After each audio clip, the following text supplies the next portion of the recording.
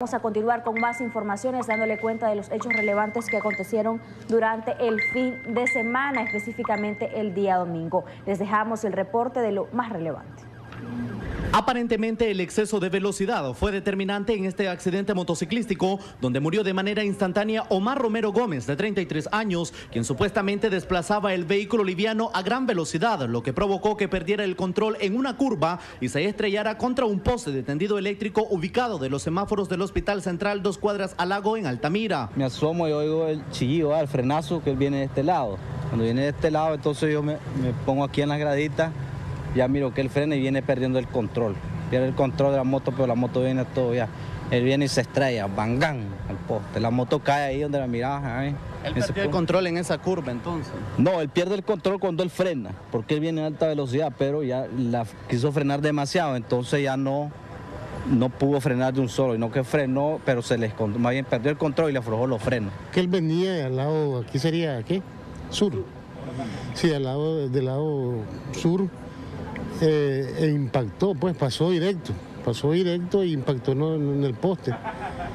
Al parecer venía a gran velocidad. Eh, me imagino que sí, me imagino que sí. Paramédicos de Cruz Roja Nicaragüense llegaron al lugar de la tragedia, pero el conductor de la moto ya estaba sin signos vitales. Se le tomó los signos vitales al paciente, ya no tenía, lamentablemente no se pudo hacer nada por él, por él porque no había signos vitales. Según la muerte fue instantánea, o sea, la moto pega en el poste, Posteriormente él sale, catapultado, pega en la caja de la caja de récords de la energía eléctrica. Posteriormente él cae, aparentemente pega en la gradita que está ahí. Ahí lo que pudo haber provocado un tramo cerrado de tórax y tramo cerrado de, de cervical. Ese fue inmediato.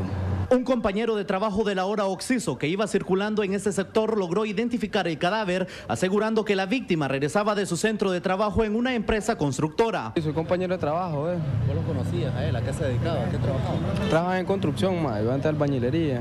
¿No sabes a dónde vivía él? No, yo lo conozco por, por la empresa, pero...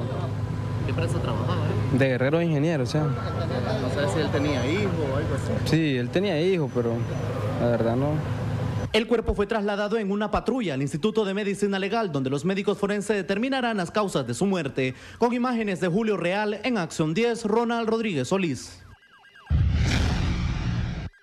En el kilómetro 85 de la carretera Matagalpa-Jinotega, José Luis Loaiziga se debatía entre la vida y la muerte, luego de ser catapultado por una camioneta cuyo conductor es señalado de invadir el carril. Al motociclista lo acompañaba una mujer que resultó con severas lesiones. Pobladores del sector intentaron brindar auxilio al ciudadano.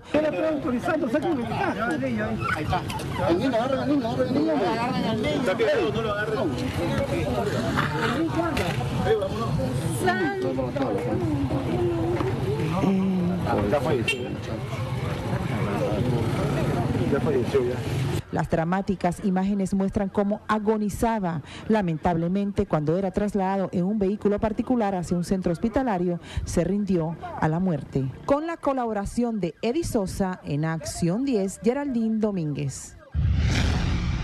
De los semáforos de Vía Progreso, dos cuadras al sur, el conductor de esta motocicleta, identificado como Jefferson Amador de 24 años, impactó al ciclista Rosalío Ramírez de 37, quien sufrió una herida en la cabeza. Luego el conductor del ligero vehículo atropelló a una mujer de 30 años y a una niña de 5 cuando cruzaban la calle para ir a la iglesia. Las dos féminas sufrieron golpes de gravedad.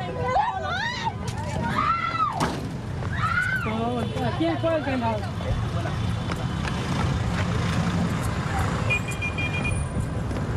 la imprudencia, el hombre viene de la moto, viene bien ebrio, una moto modificada, ¿ah? entonces eh, la muchacha está aquí en la orilla esperando cruzar. Iba con la niña, con la niña agarrada de la mano, y en eso viene, el de la moto viene acelerada, a una velocidad, que le pega a uno que viene en una bicicleta y suelta el manubrio, el hombre de la moto, y, la moto se la da a ir a la, señora con su niña, la arrasó completamente. Y, y a caer como a, como a, 20 varas allá adelante completamente anda ebrio el hombre. Eso es lo que puede. Sí, son tres, son eh, eh, el que provocó el accidente y los tres heridos.